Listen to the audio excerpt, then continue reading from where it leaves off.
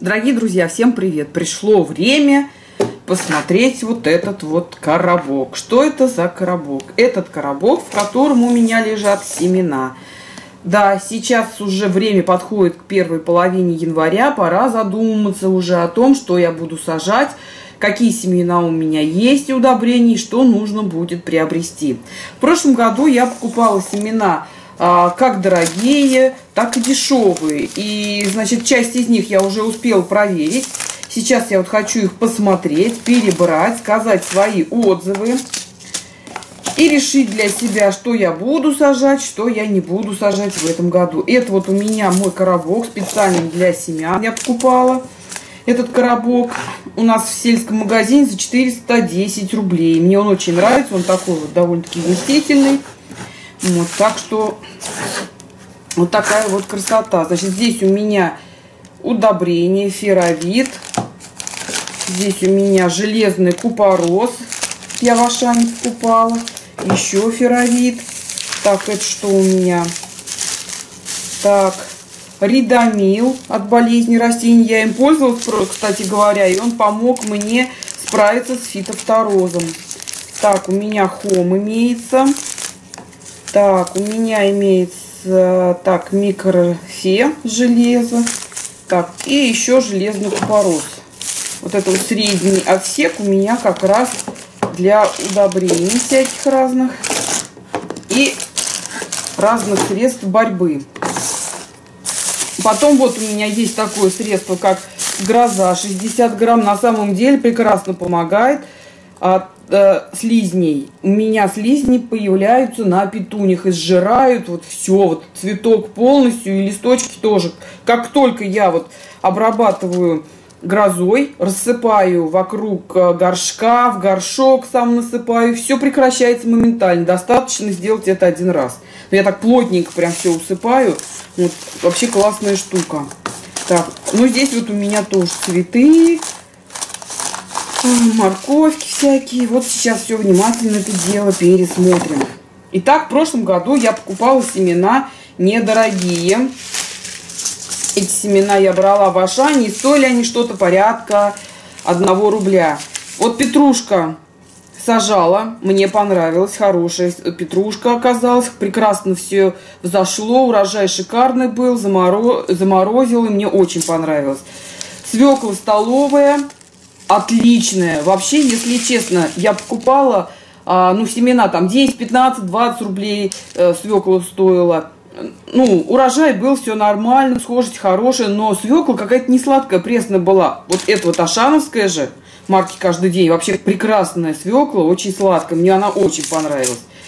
Редис тоже был неплохой. Последнее время вообще семена вот берешь, и они все в цвет идут и практически не образуются редисин самих вот, очень нехорошие, а ашановские, опять же, семена, ничего, нормальные редисочки были, все было замечательно. Так, вот укроп тоже был очень хороший. И еще мне очень понравилась ашановская морковь.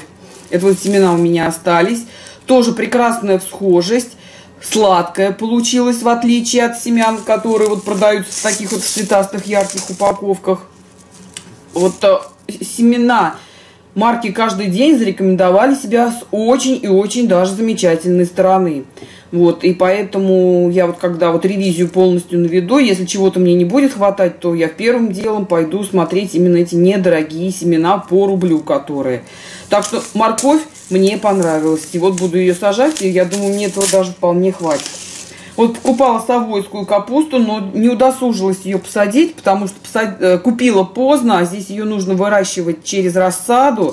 Растет довольно-таки долго. А вот очень интересно вот эта совойская капуста. Надо как-то попробовать ее обязательно посадить. Так, ну про укроп я говорила, по-моему, а нет, я про петрушку говорила. Укроп тоже шикарно, прекрасно, схожесть шикарная, прям урожай был очень и очень замечательный. Так, что у меня еще? Цветы я, эти вот астры я не сажала. Это я все не сажала. Я единственное из цветов, что вот марки каждый день посадила в прошлом году, это, как они называются, львиный зев. Тоже вот прекрасно взошел, цвел желтый, белый, розовый, бордовые цветочки, прям очень хорошие. И тоже все говорю, цена смешная, какие-то вот копейки. Вот табак душистый у меня, матиола двурога, еще табак душистый, флокс Друмонда, флокс Друмонда. Так, опять Василек. Флокс у меня остался еще. Опять Василек. Гвоздика китайская. Кстати говоря, гвоздику китайскую я сажала, она у меня не взошла. Так, еще Астра помпонная. Кентиум. И еще Астра. Значит, это все. Вот что-то я цветов очень брала, прям не пожалела денег. Вот в этом году я не знаю, получится у меня посадить или нет. Вообще загадывать не буду. Вот, кстати говоря, горох сажал, тоже хорошо взошел. И огурец неженский тоже сажал, все взошло прекрасно. В общем-то, я осталась семенами именно из Ашана очень и очень довольна. Значит, получается, что огурцы у меня есть, цветов полно. Свекла, морковка тоже покупать не буду. Вот. Укроп петрушка тоже у меня есть. Зеленушка кое-какая. Так, что еще у меня осталось? Так, ну это уже из дорогих. Вот львиный зев. Вот тоже надо будет посадить такой вот именно рядом посажу для того, чтобы чисто ради проверить, а, насколько они отличаются друг от друга. Это вот семена габариш, львиный зев.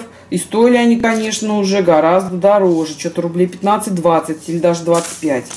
Вот такие семена у меня, душистый горошек маленький.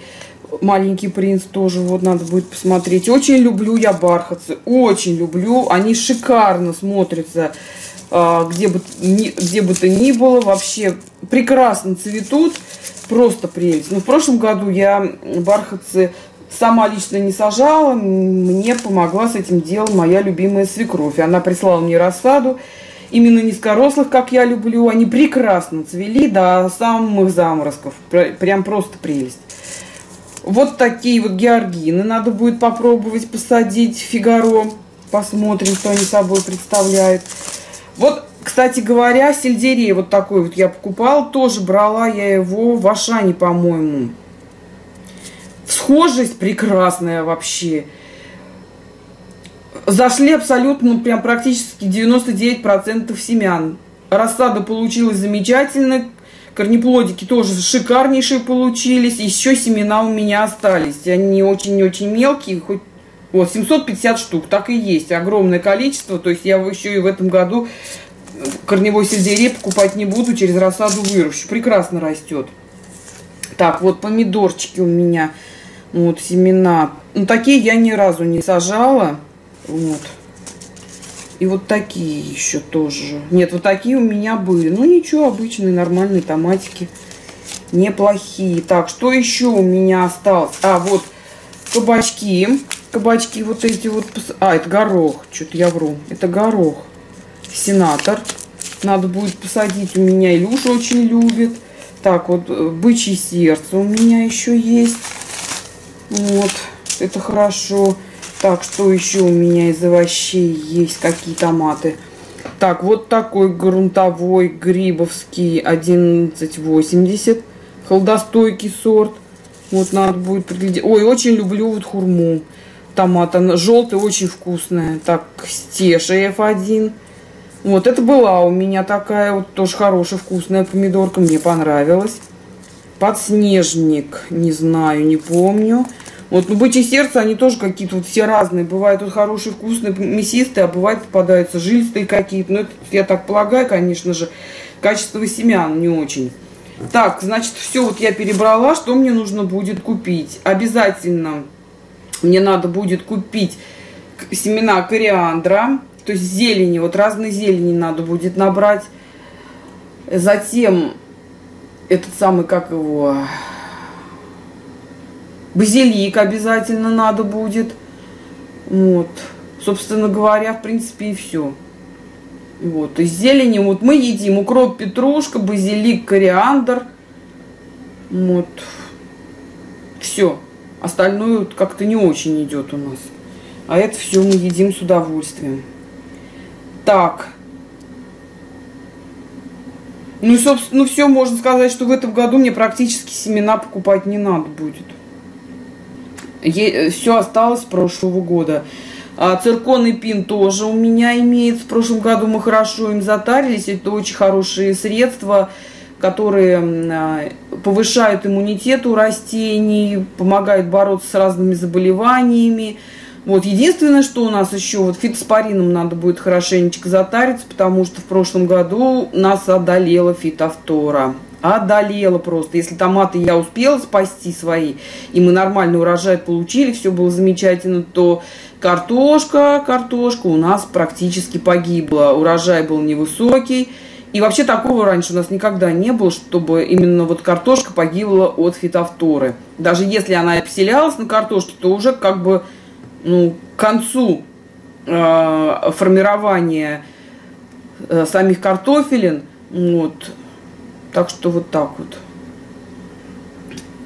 Друзья мои, делитесь своими э, задумками по поводу того, какие семена надо брать, какие не надо.